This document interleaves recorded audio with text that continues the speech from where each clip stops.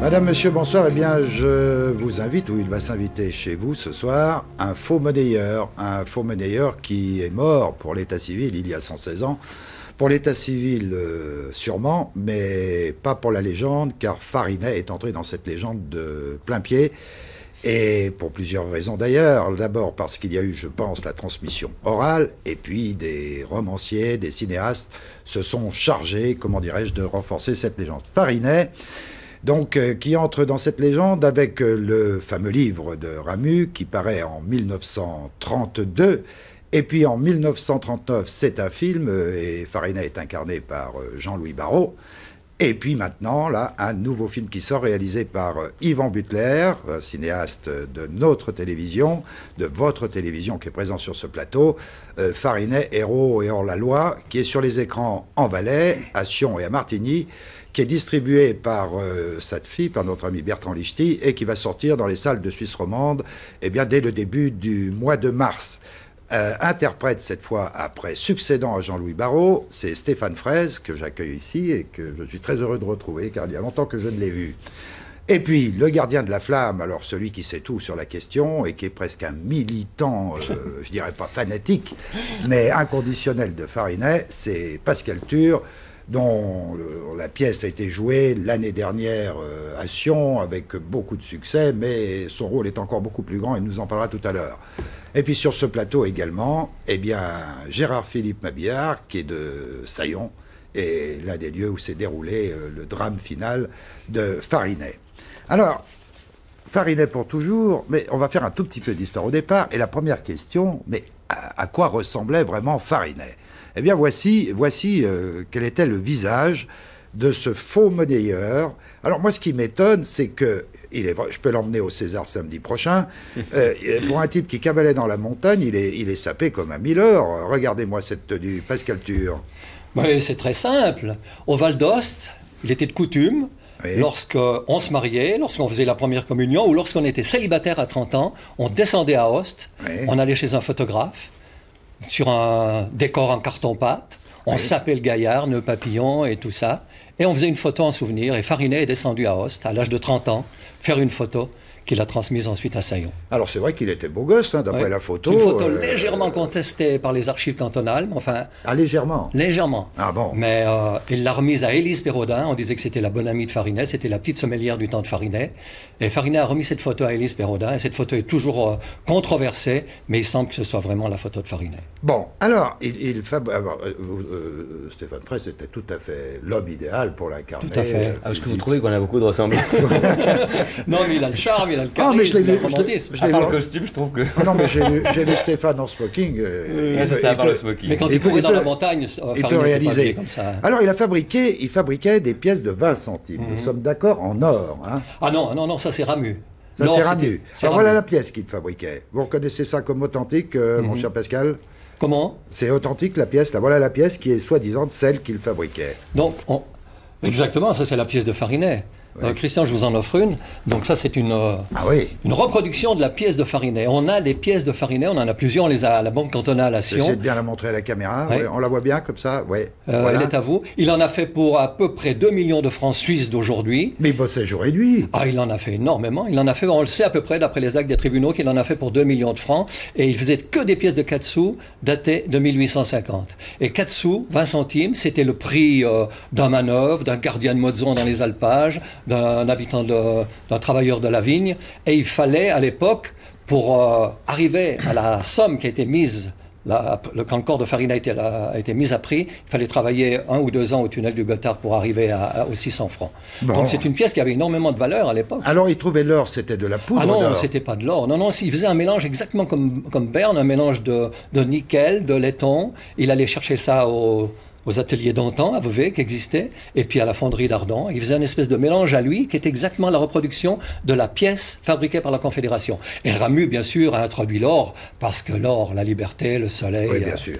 Et ce qu'il faut dire, c'est que la, la, euh, la Confédération n'a battu monnaie qu'à partir de 1891. À l'époque, la, pièce de 1850 existait déjà du temps de Farinet, ah absolument. Euh, D'ailleurs, à Martigny, il y à un moment donné, il y avait plus de fausses pièces de Farinet que de vraies pièces de la Confédération. Alors, euh, bah oui. 2 millions, non mais c'est fou le chiffre. 2 millions d'aujourd'hui, ce qui est- extravagant. ce qui est rien à côté des scandales qu'on a aujourd'hui. hein. Oui, bon, bon, on va pas dévier. Alors, il y a un petit point là, mon cher Pascal, qui va peut-être vous titiller, c'est que euh, il est né en réalité à Saint-Rémy. Oui, à en la- 18 C'est de l'autre côté, c'est après le col du Saint-Bernard. Oui, Donc il est valdotin. Il est valdotin et il a été condamné à perpétuité en Italie. Et c'est à ce moment-là qu'il s'est enfui en Suisse. Il avait l'intention de partir en Amérique. Oui. Il a passé les Alpes, il a couché au Saint-Bernard, à l'hospice, il a volé une couverture et il est redescendu sur le Valais où il arrive en plein scandale bancaire. Et c'est ça qui explique là. Alors, il faut dire qu'il a inspiré tout de suite un auteur dramatique qui s'appelle euh, Fernand Chavannes, Ouais, euh, qui, a, exactement. qui a mis en scène euh, euh, sa vie, qui s'appelait Bourg-Saint-Maurice. Exactement. Et ça a été repris, tenez-vous bien, plus tard à Lausanne et à Genève, Ouais. par la célèbre compagnie Stéphane que vous devez connaître, Exactement. évidemment, les Pitoef. Ouais. Et qui- oui, qui- Et Ramu n'a pas été le premier. Il y a eu Courtian, Chavannes, il y a beaucoup d'auteurs et beaucoup de gazettes, d'almanachs qui parlaient déjà de Farinet. Et Ramu a piqué l'histoire finalement avec le génie qu'on lui connaît. Alors, Barrault va l'incarner, Jean-Louis Barrault va l'incarner à l'écran Mhm. en 1939. euh, Le film s'appelle L'or dans la montagne, euh, et qui est réalisé par Max Hoffler. Ouais. Euh, Barrault Musique. était, Barrault était musique, Musique de Arthur Honegger. Arthur. Ouais. Euh, je, suis content que vous soyez rentré du Canada parce que je savais que j'aurais un appui formidable. Merci d'être là malgré le décalage horaire. Parenthèse fermée. Euh, Barrault est venu un peu, euh, comment dirais-je, fouiner un peu dans le Valais, s'imprégner un peu avant le tournage. Ah, c'est Hoffler qui l'a demandé à Barrault de venir. Barrault était très jeune, il est né en 1910, le film a été tourné en 39. Et euh, Barrault, en arrivant à Saillon, il a, il a été pris par le mythe, il a été pris par le rêve de Farinet. Et les vieux racontaient que lorsque Barrault est arrivé au village, il voulait d'abord aller sur la tombe de Farinet. Et puis on lui a dit, mais monsieur Barrault, il n'y a pas de tombe. Et c'est alors que Barrault a dit, ah, il n'y a pas de tombe, il n'y a pas de croix, bien moi je mettrai une croix. Et c'est Barrault, avec Maurice Dermaten, qui est allé planter la première croix sur euh, la tombe de Farinet en, 30, en 38 quand il est arrivé. Et Barrault euh, sera à l'origine, d'ailleurs, avec Beko, je crois, de la fondation Oui, des il Amis de membre du Farinet. fondateur des Amis de Farinet, Oui, sur- euh, euh, nous en parlerons des Amis de Farinet. Euh, film a eu du succès à l'époque. C'était en pleine guerre. Oui. Les moyens ont manqué. Et puis Barrault, Hoffler n'ont pas osé montrer, comme euh, Yvan l'a fait, la vraie mort de Farinet. On a eu peur quand même en pleine euh, de montrer Farinet abattu par les forces de l'ordre. Ça ne pouvait pas se faire pendant la guerre. Alors ça- c'est devenu plus qu'un rôle dans un film. Je pense que pour Stéphane, ça va se passer de la même façon.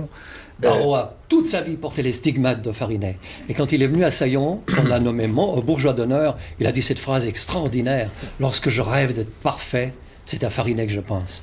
Il aimait dans Farinet le côté fugace, le côté euh, euh, bandit bien-aimé, mais ce, côté insaisissable, ce Et- côté panaistrati, l'homme qui échappe à tout. Et le mouvement, quoi, Ouais, parce il, n'adhère à rien, il n'adhère à rien. Oui. Il n'a pas de papier, il n'est pas marié, il ne paye pas d'impôts, il est de nulle part. Il est de nulle part. C'est ça que Barreau aimait. On retrouve Barrault. Il y avait entre Farinet et ma petite personne des choses qui dépassaient de loin le caractère de l'interprète de cinéma. Car la personne de Farinet est très proche, je crois, de ma nature quand je pense à être parfait. Farinet, Jean-Louis Barrault l'avait gardé dans son cœur et Saillon lui en était reconnaissant. En 1987, le village valaisan avait accueilli le comédien en héros pour lui remettre le titre de bourgeois d'honneur et lui offrir la plus petite vigne du monde, trois ceps sur moins de 2 mètres carrés.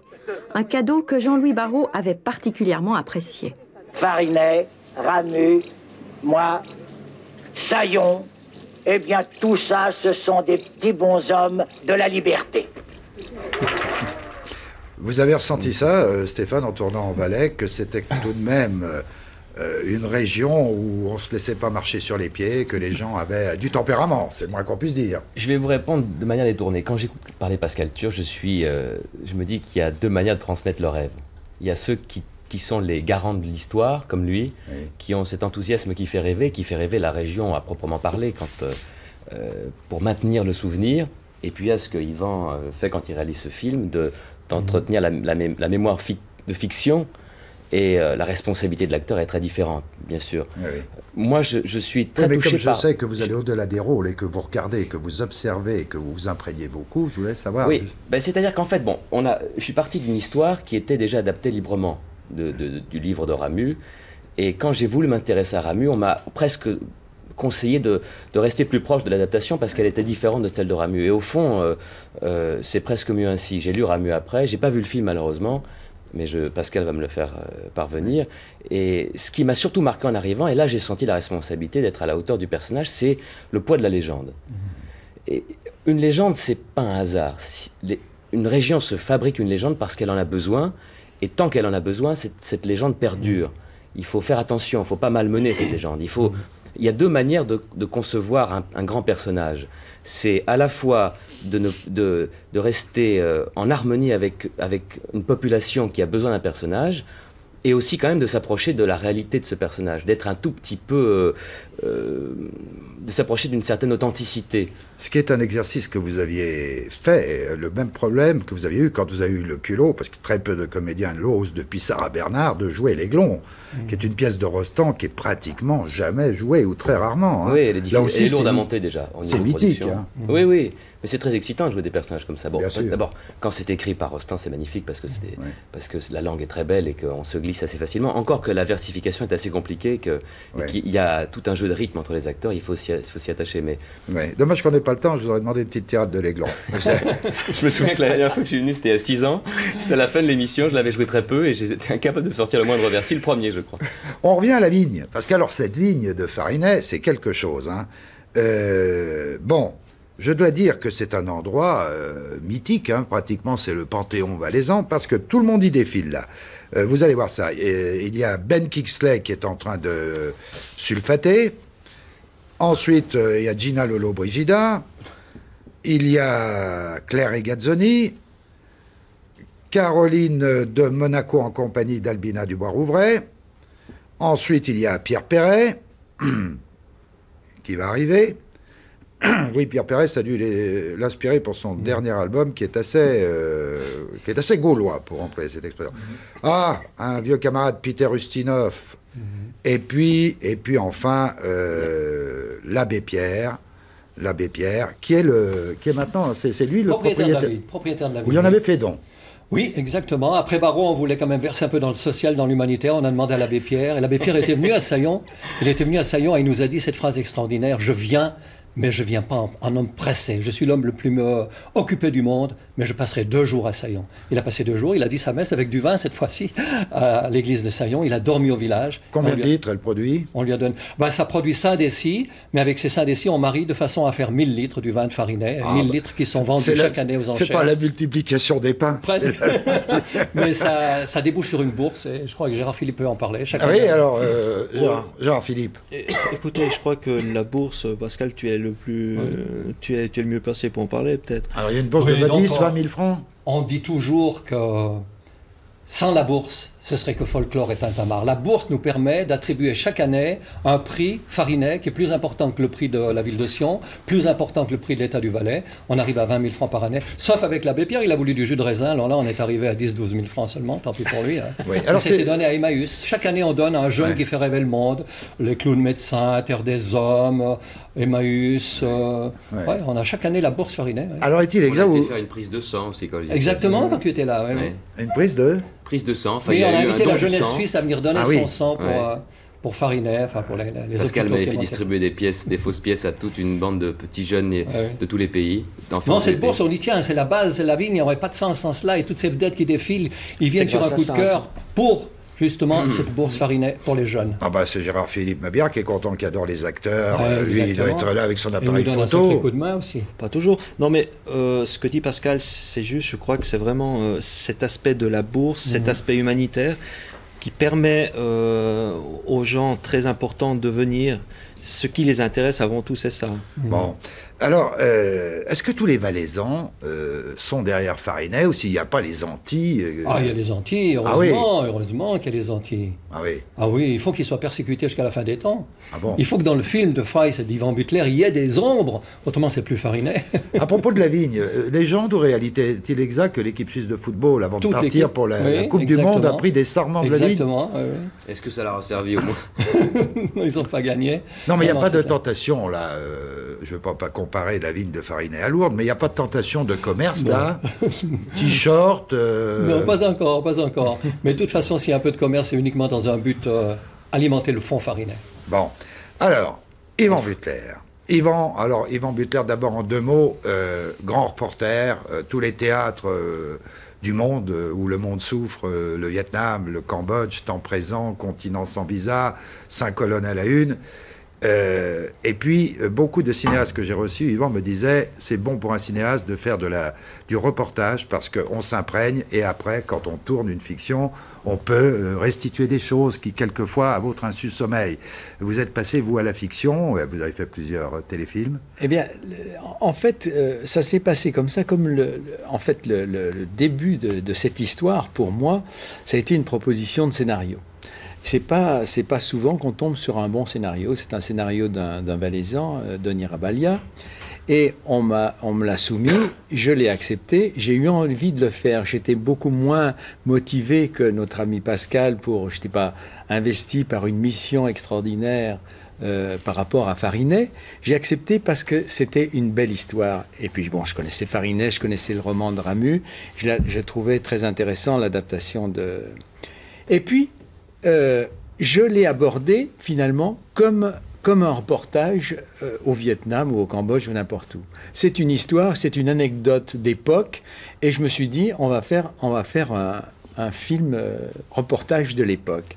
Et puis, après, malgré moi, j'ai été transporté par les gens, par les comédiens, par Farinet, qui tout d'un coup euh, est devenu en chair et en os devant moi, et j'ai fini par, j'y ai cru jusqu'au bout, et, j'ai été transporté aussi par les gens, par les figurants, qui étaient extraordinaires. Ah oui, on verra une scène avec la figuration qui est formidable. Je, veux dire que, bon, moi je connais quand même un peu le ballet, pas autant que Pascal, mais vraiment on retrouve les têtes, c'est prodigieux. Mais dites-moi, Yvan, votre film est quand même très entre guillemets politique. Le personnage est un meneur euh, qui, qui euh, c'est un petit peu ce que, ce que le, peuple adore, euh, c'est pour la France mandrin, etc., qui lutte contre une classe dirigeante, le peuple est dans un état lamentable, de misère, etc. Vous l'avez politisé. Mais en fait, en fait quand on fait de l'information, euh, toute, toute, une vie, hein, toute une vie, c'est que vraiment on s'intéresse aux problèmes de ce monde, aux injustices. Et euh, oh, comme disait Pascal, oh, on a fait comme euh, l'abbé Pierre, on, a donné un petit peu dans le social, contrairement à Ramu qui en avait fait un personnage un peu mystique. Mmh.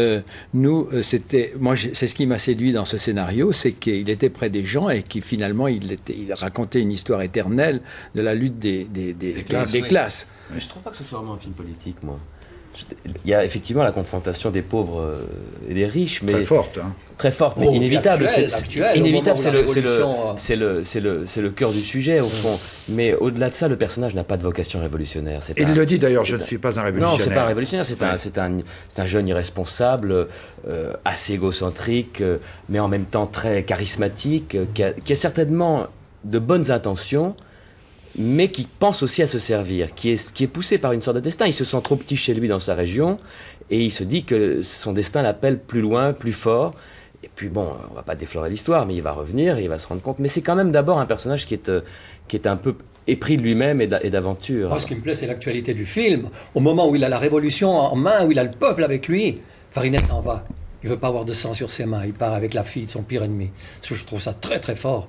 Rabaglia a dit que c'est très sartrien. Je trouve ça très fort. Il va pas jusqu'au bout. C'est pas le Che Guevara, c'est pas le Condottiere. Hein. Non non, c'est un. Il pourrait en fait, on appelle, pourrait jeter la, révolution dans le pays. Farinet, héros et hors la loi. Moi, j'aurais envie de dire Farinet, homme et destin. Mhm. C'est euh, c'est le, sa fonction héroïque, c'est la population, c'est la mhm. légende qui l'entretient. Mais euh, j'en vois moins héros. C'est pas un meneur d'homme. C'est pas un meneur d'homme, non. C'est un hors-la-loi, certes.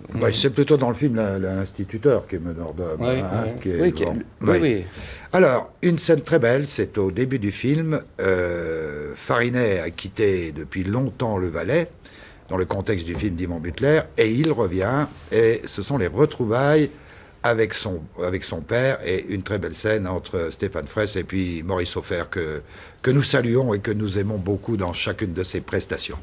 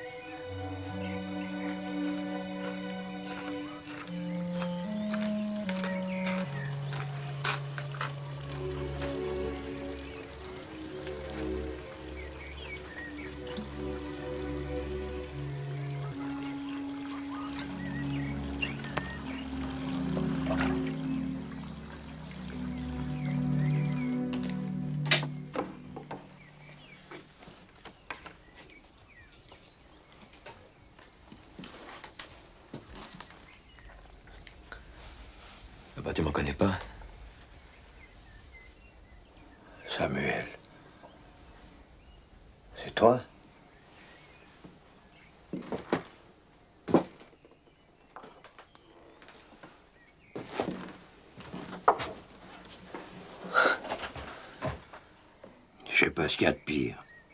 Que tu sois revenu ou que tu sois un fantôme. Au retour du fils prodigue. À ta santé, papa.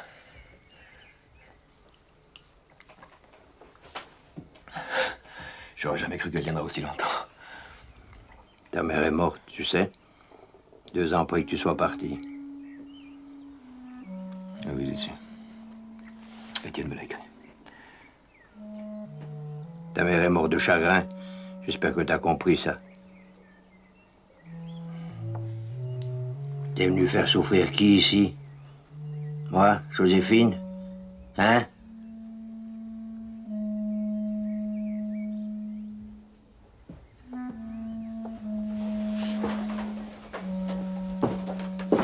On s'embrasse pas Disons qu'on s'est pas vu, on s'embrasse même pas. Voilà, ça c'est un extrait au début du film, superbe scène d'ailleurs de, de retour, une scène que j'aime beaucoup. Yvan, euh, vous, vous connaissiez bien entendu euh, Stéphane Fraisse avant de l'engager. Tiens, pour mémoire, moi j'ai quelque chose à vous montrer en ce qui le concerne, ça va, lui, ça va le rajeunir un tout petit peu. Regardez.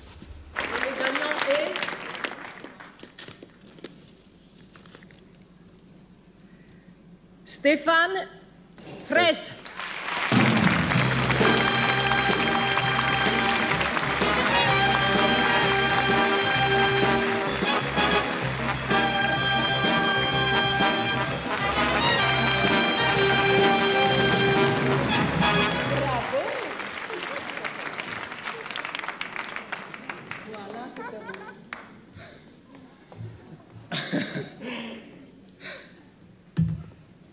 Ne m'y attendais pas. euh. Et voilà. Menteur. Je ne m'y attendais pas, mais Ah, en bah, fait, à y repenser, je crois qu'il faut faire attention quand on participe à ce genre d'émission à pas aller trop loin parce que j'ai mis beaucoup de temps à me détacher de ça. C'est vrai. Ouais, C'est-à-dire qu'en fait, les gens qui ont vu. 89, meilleur, ce meilleur espoir euh, masculin. Ouais, mais Pour les- les chouans. Pour les chouans, oui. D'ailleurs, un personnage qui, avait, qui, qui s'apparente Oui. un peu, qui a un Eh destin oui. un peu. On peut en reparler après, qui a un destin qui, qui s'approche un peu de celui de Farinet. Mais pour revenir une seconde à cette manifestation, je les gens dans la, dans la France profonde, enfin, ou, ou disons dans les pays profonds, étaient touchés par ça parce que ceux qui n'ont pas vu le film, au moins, on garde une image visuelle. Oui. Puis j'avais mis exprès les, les, les costumes Oui. des personnages, je me suis amusé et je me suis un peu mordu les doigts parce que ça n'a pas été très bien reçu par les gens du métier. Comme on dit. Oh là là. Non, non, mais c'est vrai. Et, Mais enfin, si on doit tenir compte des états d'âme des gens du Mais métier, hein. exactement, je me, au fond, aujourd'hui, euh, je l'ai- Mais c'est pas que ça, et Molière aussi. Hein.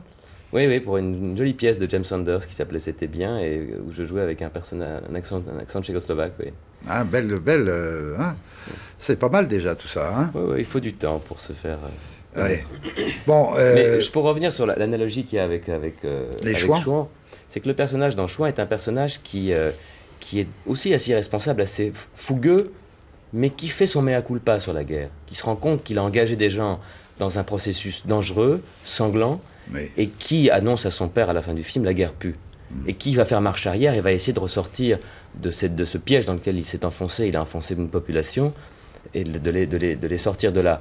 En revanche, Farinet, tel qu'il est exposé dans le film, mais là effectivement on en a parlé déjà beaucoup avec Pascal, c'est aussi une question de parti pris. Il n'est pas un n'a pas de, de fonction héroïque dans le sens où, se rendant compte qu'il engage, euh, qu'il ne va pas sortir ces gens de- de la, de la misère, fait marche arrière Oui, mais mis face à son destin, mis face à la, comment dire, à la, à la, euh, à la limite de, de sa, de sa vocation de révolutionnaire, euh, il, Historiquement, il préfère le- suivre à sa- son propre destin, qui est de se sauver, qui est de se ouais. sauver, c'est d'ailleurs une forme de lâcheté. Quoi.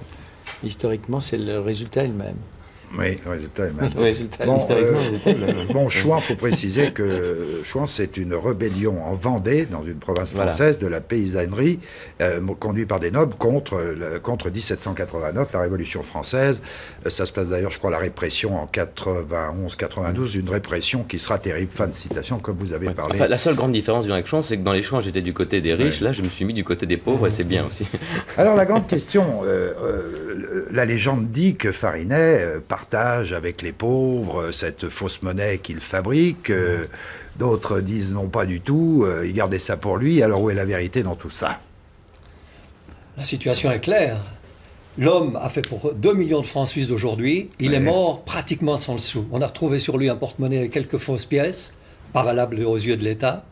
Il n'avait rien, il n'avait pas de chalet à Evolène ou à Ovrona, il n'avait pas de résidence secondaire, il n'avait pas de planche à voile, il n'avait rien, il est mort sans rien. Ouais. Il a tout donné. Ben. Je ce qu'il vous faut de plus. Alors- Et tous ceux qui ont, on était quand même des centaines à avoir connu, ceux qui ont connu Farinet. Moi j'en ai connu pas mal. Bon. Le vieux père Maillard, Élise Perrodin, tout le monde disait il était d'une générosité débordante. Alors, il y a. euh, bon, je savais qu'il y aurait la voix de Pascal Tur. Il me fallait quand même, euh, à défaut de jouer les avocats du diable, apporter d'autres éléments. André Donnet a fait un livre qui s'appelle La véritable histoire de Joseph Samuel Farinet, faux monnayeur. Alors, sur l'être, sur l'homme en question, il y a quand même une petite phrase qui me, qui me titille. Euh, Donnet écrit L'enquête avançait difficilement et la justice avait de la peine à éclaircir cette ténébreuse affaire. Lorsque Farinet lui-même, dans une lettre adressée au juge instructeur, donna des renseignements très positifs et très circonstanciés sur les complices, sur ses complices et le rôle que chacun d'eux avait joué. Ces renseignements, ainsi que ceux qu'il adressa euh, au même juge dans deux lettres postérieures, furent en général trouvés exacts et amenèrent la découverte de plusieurs personnes intéressées dans cette coupable industrie. Ça veut dire qu'il a dénoncé ses petits copains. Ça, c'est vrai? Farinet est plein d'ombre. Plein d'ombre, mais c'est l'ombre qui fait jaillir la lumière. Plus la, la poussière est épaisse, plus la- les raies de lumière sont... Non, c'est clair. Ça, c'est- encore meilleur que Stéphane arrivant sur la scène des Césars au c'est bout de pas un l'accord. héros, C'est pas un homme d'exception, c'est un marginal. Quel enthousiasme. Un marginal, un marginal plein de qualités. Il avait la jeunesse, la beauté, la générosité, il vivait dans un décor prestigieux, et puis il y a surtout sa mort, c'est sa mort. Ouais, on va y arriver. Ouais. Bon, pour l'instant, alors on en est là, on va voir une autre, euh, une autre scène du, du film d'Ivan Butler. Ah, ça se passe devant le tribunal et là on sent que. Alors, vraiment, est-ce que, est-ce que la, la- la- était protégé. est-ce que le peuple valaisan, dans sa majorité, Même des gens de la police. Il y a un juge qui a dit c'est un chevalier. On a une lettre du président de la Confédération amère qui nous dit c'est habile Farinet. Le président de la commune de Saillon, tout le monde aimait Farinet. Tout le monde aimait Farinet. Ça, c'est historique, absolument. séquence devant Farinet devant les juges.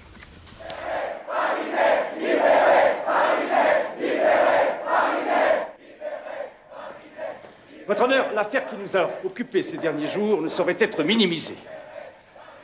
Non seulement l'accusé s'est-il rendu coupable de faux et d'usage de faux, mais plus grave, il a perturbé l'ordre public et social. Il ne s'agit donc pas simplement d'une simple escroquerie, mais bien d'un affront fait à notre État. Dans ces circonstances, il est de notre devoir de veiller à ce que cet individu subversif reçoive un châtiment exemplaire. Je requiers contre Samuel Farinet la peine de 10 ans de réclusion.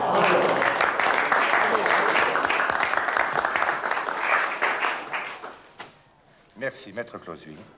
La parole est maintenant à, à Maître Loretan pour la défense. Votre honneur, mon client a reconnu les faits. Oui, il a bien fabriqué de la fausse monnaie. Et oui, il s'en est bien servi pour rembourser les dettes de sa famille. Mais nous savons que ces faits doivent être interprétés. Non. Samuel Farinet n'a pas essayé de s'enrichir en profitant de la crédulité des autres. Preuve en est la générosité qu'il a manifestée envers ses amis, paysans et mineurs. Et non, il n'est pas l'anarchiste qu'on vous a dépeint à grands traits. Au contraire, Samuel Farinet est un idéaliste dont le seul crime a été de vouloir soulager la misère des siens. C'est un voyageur dont l'unique délit a été de croire que ce pays était à l'image de ceux qu'il avait visités sans foi ni loi. Voilà.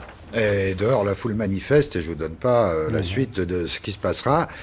Bon, bon, alors tiens, j'ai reconnu au passage dans la figuration un de mes voisins de Savièse, Albert Debon. Là, on lui avait- voilà, euh, euh, pour la figuration, vous avez retrouvé là. Il y a eu un enthousiasme pour, les, du côté des figurants, Yvan? Oui, tout à fait. On a mis des annonces dans les journaux, mais on était Submergé submergé par le nombre de, de personnes qui souhaitaient faire de la figuration. On a fait un choix euh, qui, qui est, qui est arbitraire, en fait, qui est, qui est surtout subjectif.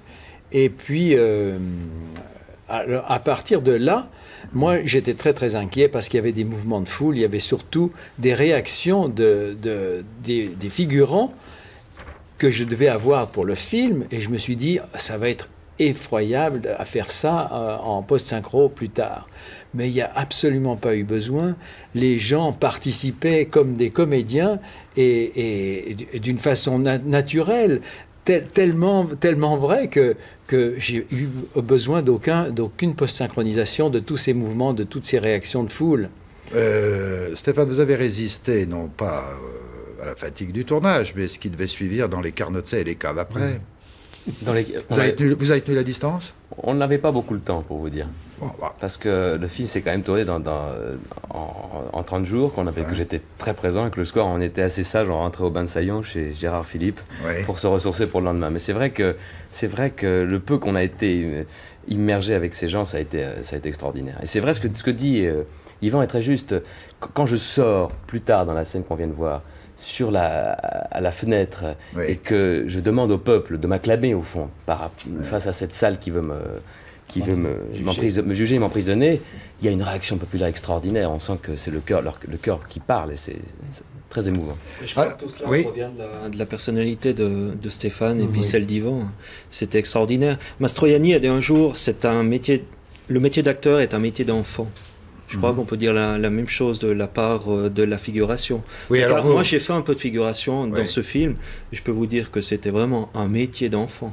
C'était extraordinaire parce que tout d'un coup on nous demande de faire quelque chose, mais on fait ça comme si comme si c'était naturel, alors que par exemple moi j'ai jamais porté un plateau avec un verre de champagne dessus. donc. Et c'est plus Mais- facile quand même pour un, pour un figurant de parler de sa propre histoire. Oui. C'est-à-dire que quand on, il sait, quand on lui dit euh, accusez, levez-vous et que c'est Farinet, il sait qui est Farinet, il sait comment réagir pratiquement à ça. Il, il engage même son propre, son propre jugement. Oui. Alors, euh, vous savez que ça a dépassé les frontières. hein. Euh, Le, le Wall Street Journal, qui est très sérieux, Mhm. euh, a envoyé un, un journaliste sur place, Farinet à la une du Wall Street Journal. Alors, les journalistes s'étonnent, mais comment un pays comme la Suisse peut, comme ça, euh, vouer un tel culte à un faux monnayeur? Alors, il y a des témoignages qui sont assez marrants, parce que il y a un banquier genevois, je ne vais pas donner son nom, qui dit « Nous ne sommes pas supposés connaître cette histoire dans notre métier. Ça, j'ai trouvé cette déclaration alors absolument incroyable. Et ce qu'il y a d'incroyable encore, voilà une brochure. Euh, alors, dans cette brochure, il y a les sponsors de, de- de- de- de- des amis de Farinet. Ben, C'était pour financer le spectacle sur les toits de Sion. Votre spectacle qui était superbe. Oui, oui, donc avec toute l'équipe du Ouais. théâtre Malacoria. Euh, oui. Alors, euh, il y a des choses que j'aime beaucoup parce que il y a, faut que je retrouve la bonne page. Euh, ah oui, alors il y a la Banque cantonale du Valais, établissement un peu plus respectable, alors qui a trouvé un slogan, parce que chaque fois il y a, il y a un slogan. On peut serrer un petit peu? Euh, Voilà, voilà, elle arrive doucement, mais elle vient sûrement. Euh, donc il y a un slogan. Alors le slogan pour la Banque cantonale valaisanne, Farinet, la fausse monnaie, la BCV, la vraie. Ouais. Et c'était tout des pages à 300 ou 500 francs qui ont permis le financement du spectacle. Ah oui, et puis il y a plein comme ça. Alors ça, Mhm. c'est très très amusant. Euh, euh, une compagnie d'assurance qui dit j'assure tout, même Farinet. Euh, c'est très amusant ça. Euh, lui, c'est terrassement et transport. Il dit il terrassait tout, même les conservateurs. Voilà, on sent, on, on sent la notion politique. C'est très très très amusant. Il y a même euh, un pressing là euh, qui fait qui fait son slogan. Farinet s'est fait lessiver. Enfin, comme ça, je pourrais vous en citer euh, pendant une, une demi-heure. Bon, euh, alors l'autre question, c'est euh, abattu le 17 avril 1880 par la gendarmerie valaisanne. euh, à- à Gérard Philippe à, à- à Saillon. Dans les gorges de la Salinte, oui. Oui, bon. Euh, alors ça, c'est une version qui est contestée dans certains ouvrages, qu'il a été abattu. Euh, vous, vous connaissez ça, Pascal, hein, Gérard. Philippe hein? Bon, vas-y, Gérard, allez-y. Encore une fois, je crois que Pascal connaît mieux que moi l'histoire, mais bon, moi j'ai j'ai entendu souvent que, que Farinet donc, euh, avait été abattu par un, par un gendarme qui a eu la détente un peu facile, mais je peux pas vous en dire plus honnêtement. Ah, parce que alors, quand on lit les ouvrages, euh, Mhm. quand on lit les ouvrages Farinet devant la justice valaisanne, euh, euh, qui est aussi d'André Donnet, et d'autres ouvrages, là, c'est un point de Mais vous contestation. ne pouvez pas faire l'histoire de Farinet en puisant les renseignements dans les dossiers de son pire ennemi. Pire ennemi, l'État, c'est impossible. Oui. C'est comme si vous faites l'histoire de Jésus en, consultant les cartables de, de Ponce Pilate. Oui, Ou bien alors si vous étudiez euh, l'histoire de, de Van Gogh en allant consulter les constats des psychiatres lorsqu'il s'est coupé l'oreille. ou- je non, non, dire, c'est moi, ça. Moi, je, je- je propose. Il faut une se méfier Moi, je de pense que la l'histoire. RTSA devrait faire un film qui s'appellerait Pascal Tur. Non, non, non. Oui. non, non, non. Non, non, je reconnais les ombres. Je reconnais les ombres. Je. Quelles sont les ombres, tiens? Ah, bah, vous les, ombres de Farinet. Oui. De- de- le- du personnage historique, ah bah, c'est qu'il a quand même trahi plusieurs fois ses amis, qu'il était très coureur, qu'il a quand même fait Oh, de c'est l'argent. un défaut, ça. Comment? Bon, un défaut. Ah, mais quand même dans le film, c'est trop accentué, trop accentué. Il y a trop d'ombre dans le film, à mon avis. Il fallait préserver. Ah, mais euh, Yvan Butler est Il fallait préserver le rêve. Et ses comédiennes sont superbes. Je veux dire. Mais dans Ah, la mais il y a légende. trop d'ombre. Mais dans la légende, il est dit que c'était un fabuleux cavaleur. Ah oui, ça d'accord. Mais quand Ah, même, là, alors. il met enceinte une fille dans un chalet. euh, il, il fait les 400 coups avec Joséphine. Il part avec la fille, son pire ennemi. Il fallait des ombres, mais pas trop, trop accentués. Il fallait préserver Et moi, ce que je, reproche à Rabaglia, je regrette qu'il ne soit pas là aujourd'hui, il aurait dû, en tout cas, sauver le rêve, le Il est- mythe. alors, sauver euh, le rêve, le mythe. Denis Rabaglia a décliné notre invitation. Oui, c'est dommage. Bon, alors ça, bon. Parce que vous ne pouvez pas faire euh, l'histoire. Robert Hossein fait l'histoire de Jésus. Il ne peut pas se permettre de faire coucher Jésus avec la Samaritaine et sortir le soir avec la sœur de Lazare et puis dire aux apôtres écoutez, la multiplication des pains, c'est tout du bidon. Impossible, vous pouvez Moi, je crois pas. qu'il est inadmissible Mais non Butler n'ait Mais pas demandé Vous à Pascal les ombres. Moi, je trouve Pascal que- nous aurait fait un scénario. Accentué les ombres. Moi, je trouve que, en tout cas, les femmes dans le film font rêver. Ah, oui, Oui, mais il n'y a pas que ça. Ah oui. Il est responsable finalement de la mort de Joséphine en dynamitant ça. hein. Il est responsable de la mort de son père parce qu'il y a une descente de police et le gendarme débile tue son père. Il est responsable de la mort de son meilleur ami, le régent. Il y a beaucoup de morts dans la vie de Farinet. Il y a pas Mais qu'est-ce qu'il fait là? Il est en train de nous contester le film, là, Un tranquillement. petit peu, il y a trop d'ombre, il y a trop d'ombre. Il n'en a pas assez préservé le rêve. C'est le rêve qui doit sauver le film. Alors, on parlait de sa mort, donc, euh, qui est datée du Oui. 17 avril 1880. Le corps a été exposé à la mairie de la, Ouais. la co- De commune de, Saillon, oui. de Saillon, hein, Oui. où les collégiens de Sion sont venus le voir. Ça, c'est vrai, c'est vérifié. Absolument, on a Camille Desfeilles, qui a été un des meilleurs avocats du Valais, qui a été juge cantonal, qui a été président du tribunal cantonal, et jusqu'à la fin, jusqu'à sa mort, il a dit J'étais parmi ces jeunes, j'aurais pu mettre le crayon dans le trou fait par la balle. Et on a le rapport du médecin légiste. Mais pour, pour rebondir sur ce que disait Pascal, on peut faire beaucoup de films de- du film qui a été Oui. fait. Parce que euh, Oui. l'histoire se prête à plein de directions. On peut, on, peut, on, peut, on peut rentrer dans le drame social plus, plus, plus intensément. On peut, par- on peut parler euh, de la. On peut rester sur la fresque historique. Euh, Pascal défend le rêve dans le sens d'un d'un lyrisme assez. euh, assez- sans, sans ombre, comme, comme, comme il dit. avec des ombres qui font, qui font rêver. C'est vrai qu'on peut toujours contester un- l'équilibre d'un film, c'est-à-dire que chacun y trouve ce qu'il veut et d'autres n'y trouvent pas ce qu'ils veulent, mais euh, c'est une histoire très- tellement large Oui. que... Mais c'est bien que le mystère le- demeure. Hein le Le scénario- disait J'ai tout raté, même ma mort. Farina a peut-être tout raté, sauf sa mort. Il a réussi à passer pour un martyr. Alors, le côté lutte des classes est extrêmement marqué dans le film. Bon, euh, on va revenir tout à l'heure sur la- les conditions sociales de l'époque. Euh, il y a là une scène entre euh, Farinet et puis son ennemi, celui qui prête de l'argent aux paysans parce qu'en échange, ils raflent leurs terres, qui s'appelle dans le film Monsieur de Sépibus, qui me fait un peu de peine parce que je connais un docteur de Sépibus qui est un homme charmant, et alors que dans la réalité, c'était pas du tout Sépibus. Non, non, non, Zé Pupus c'était le commandant de la police cantonale. Ah, bon. Le personnage de Saxon, c'était Fama, mais c'est un peu le, le génie de Rabaglia, comme Ramu, qui bascule. Bon, enfin, comme dit l'autre, Dieu y reconnaîtra les siens. Voilà.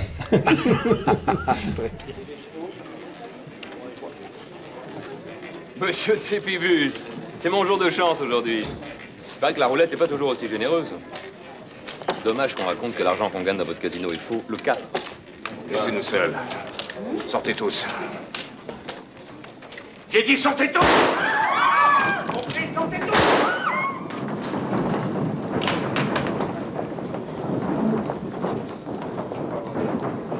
Cette fois, c'est terminé, Farinet. Pas la peine de marchander ta peau. Moi, je n'ai plus rien à perdre. Il te reste ton honneur. Justement, les ancêtres ont toujours su se débarrasser de ceux qui les menaçaient. Thérèse.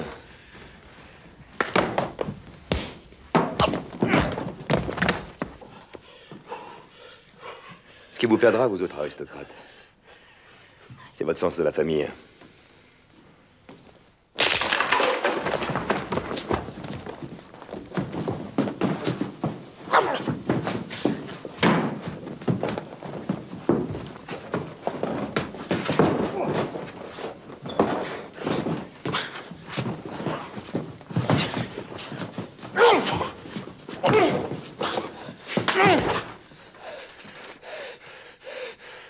Croyais que t'avais le sang bleu.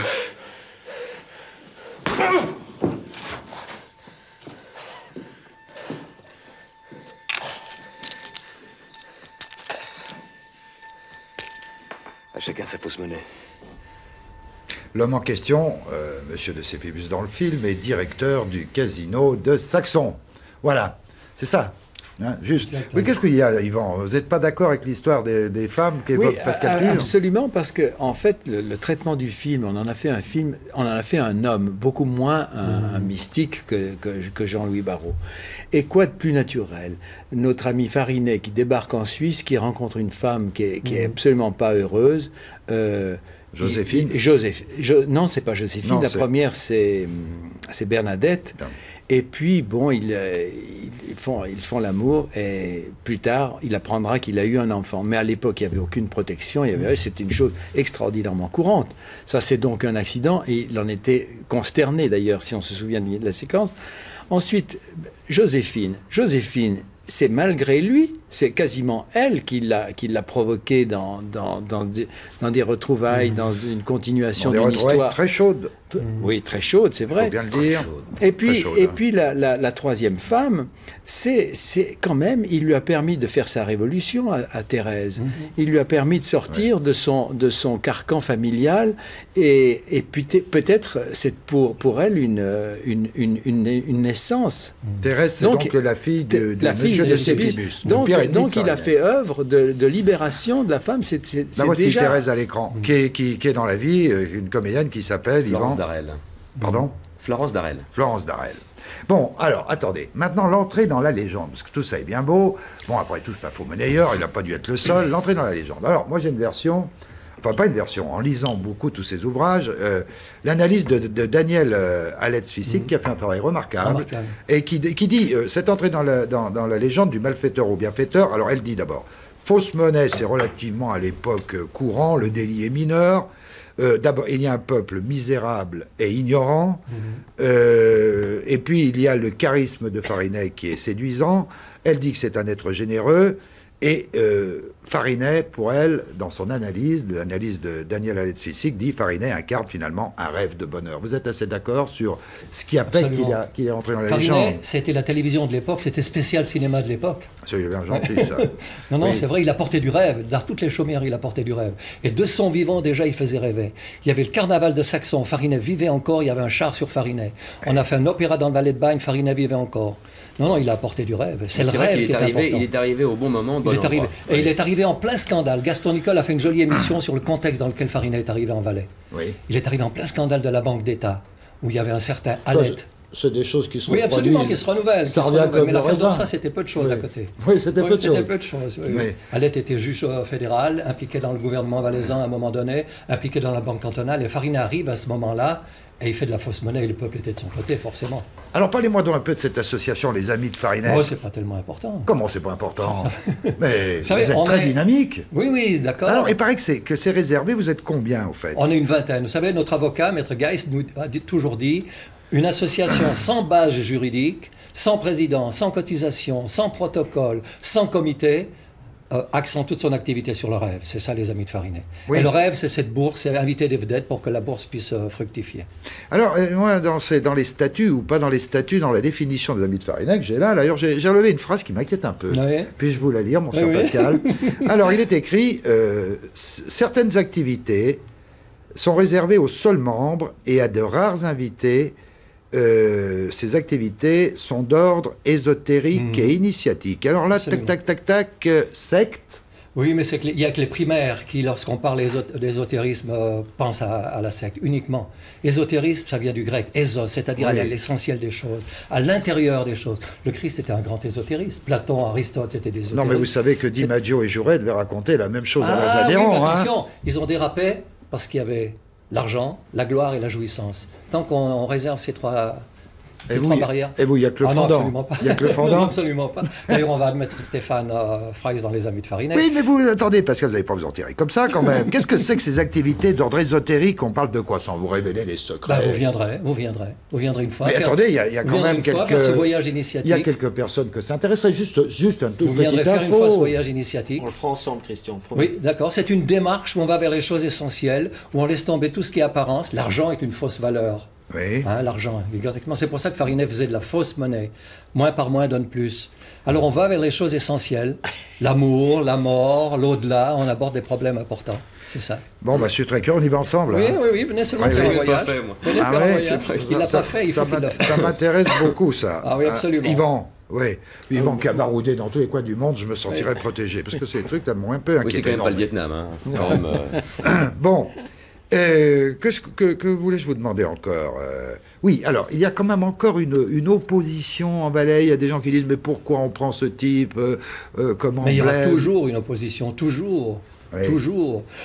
Le Farinet historique est mort, vomi par l'État, parce qu'il faisait de la fausse, monnaie, vomi par l'Église, qui ne lui a pas accordé de, place au cimetière, et il a été abandonné par tous ses amis. Il n'y a aucun ami à la mort de Farinet qui a osé jouer les Antigones, le président de la commune qui a reçu de l'argent, le curé du village, tous ses amis qui faisaient partie de la bande. Il n'y a aucun qui a osé aller devant la police en disant, comme Antigone, nous exigeons qu'il ait une tombe au cimetière de Saï. Aucun. Il a été abandonné partout. Et ça, je pense que Farinet, jusqu'à la fin des temps, il sera toujours persécuté dans les films, dans les livres, à la télévision, partout. On, on continuera à le charrier. Et c'est ce qui fait la force du mythe. Mais ça. on, on l'a pas. on- là, on, Un est, on essaie d'être objectif. Oui, oui, d'accord, d'accord. d'accord. Ah, euh, vous êtes, je crois, bien exprimé. Euh, Dites-moi, Pascal Tur, euh, je comprends que vous aimiez Farinet. Pendant le carnaval, vous éditiez jadis. trois- comment Mais on peut en parler. euh, trois trois, trois éditions d'un journal qui s'appelait La Terreur, Stéphane. Oui, mais ça n'a rien à voir avec alors, le il- film, ah, non, non, non, mais on peut parler de ça. Je, vous- je vous Absolument, aide, là. absolument. Parce que c'est pas innocent ma question.